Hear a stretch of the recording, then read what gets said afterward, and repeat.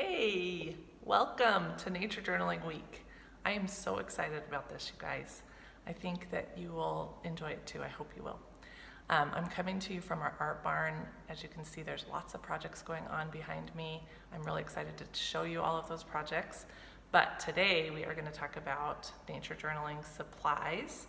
So I thought this would be a good place to show you. I'll just, I put everything out on the table. Um, before I do that, I want to remind you of two things with nature journaling.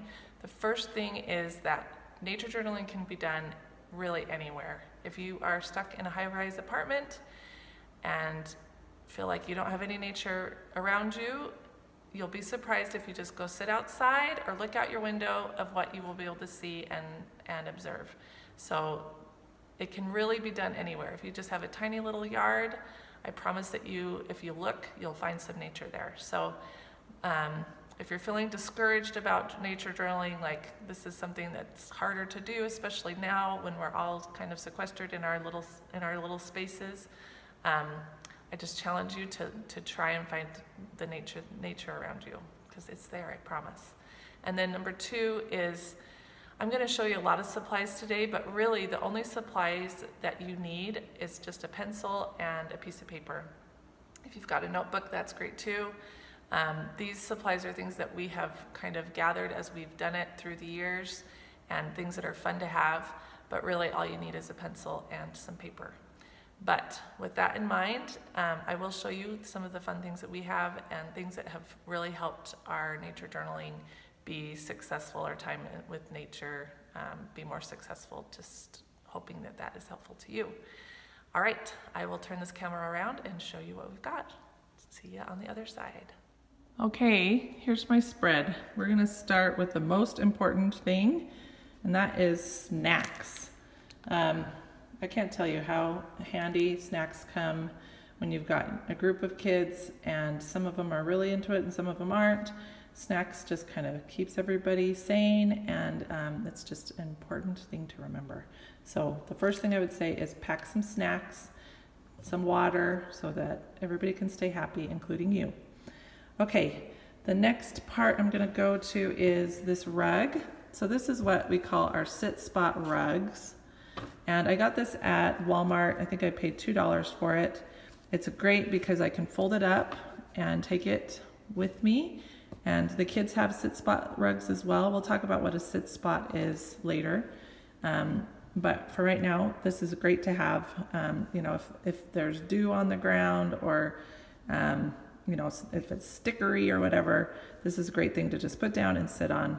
And it helps kids to stay put. They, um, it really helps younger kids to help them to know to just stay on their on their rug. So this is a great thing to have.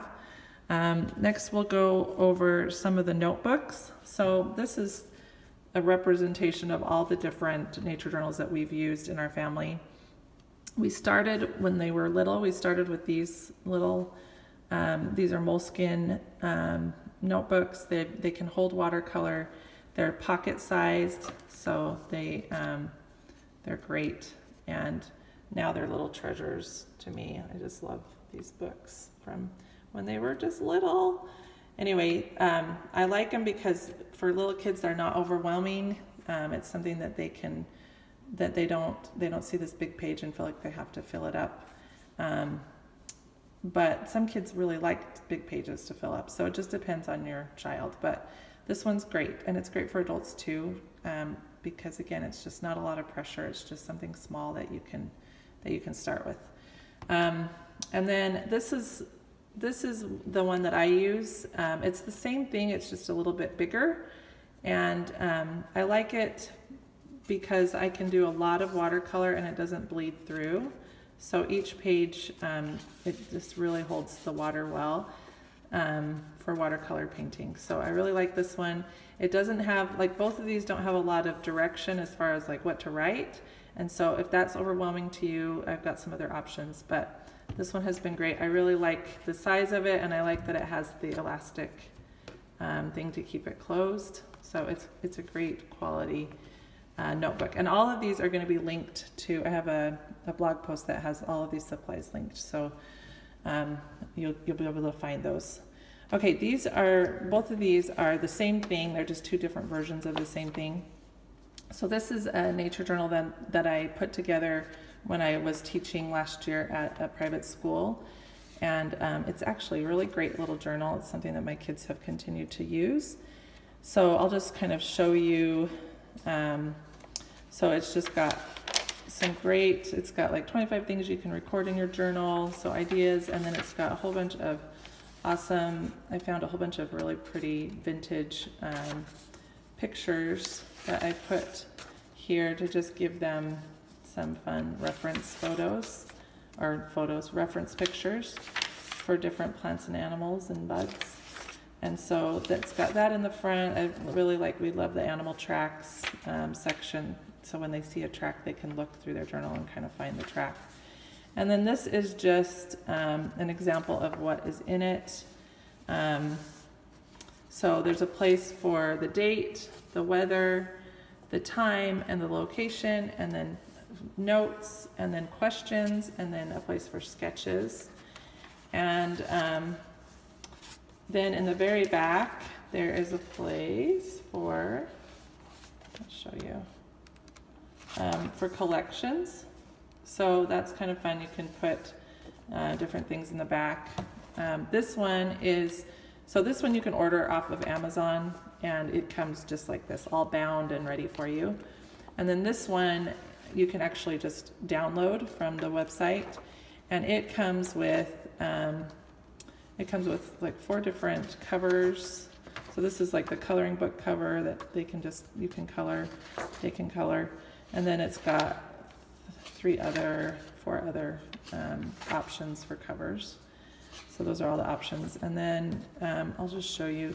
The nice thing about this is that you can print it on heavier paper. So this is like a 90 pound paper. So it will handle watercolor. And um, so I like that and I like the size of it. Um, but it's got the same thing that the other book had as far as the date and the weather and the time and location and all of that. And then it also has a place for collections. And this is kind of an example of some of the collections that we've put in this one, like a feather, some branches, uh, some seeds, and we just use packing tape, and that usually works really well to keep everything um, preserved. Okay, so those are the notebook ideas. Again, if you don't have a note, if you don't have a notebook, just staple some paper together and just get started that way. That's a great way to start. Okay, let's go over here. So um, you may be wondering why I have a cut, a cut off old sock.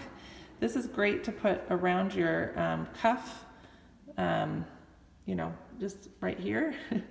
I've only got one hand here, but it's great when you're watercoloring. Um, you can just dry your brush off and um, it's great for that. Um, okay, if you're doing watercolor, oops, if you're doing watercolor, this is, I would highly recommend this set. This is by Winsor & Newton. It's called the Pocket Sketchers Kit. And it's got 12 colors inside and um, it's just a great little set. You can see the size of it is just a little smaller than this, so it's pocket size. Um, and the colors are great. And then if you're gonna do watercolor, I'd highly recommend a water brush. So it's a brush that holds water in, in it, which is really nice when you're out um, you know, out in the field or whatever, um, that you don't have to bring water with you. And it actually holds, it doesn't look like a lot, but it actually holds a lot of water. And so it's a great option to have when you're watercoloring. And then um, pencil, this is, I really like this one. It's just the, the Bic mechanical pencil. Um, we'll talk a little more about the blue pencil. Um, this is just a great way to sketch something out before you watercolor it um, because once you have it all sketched out, the watercolor usually hides most of the blue markings. So um, you can do a lot of great things with that blue pencil. And then I also love the Sharpie No Bleed pen. So this doesn't bleed through and um, it's a really great pen to have. And then just a few other fun things. Um, this is really fun um, and I have a link to it. It's basically a magnifying glass that you can put on your phone camera and so you can get really cool video of little tiny things like insects and um, plants and you can see intricate details and patterns that you would never see with the naked eye. So this is a really fun thing to have. And then binoculars. This is a great inexpensive set that has lasted us for a long time. And a magnifying glass, which is fun to have too. And then I over here I've got just a plastic bag. I usually put everything in the plastic bag that we are using and then I bring it, um, the kids can just have their supplies ready and we don't have to worry about things getting wet or destroyed because it's in the plastic bag. And this is my bag that I carry everything in. It's just an old field bag that my mom gave me a long time ago that has worked really well. So that is everything. Let me know if you have any questions and um, I'd be glad to answer them. All right, we'll see you tomorrow.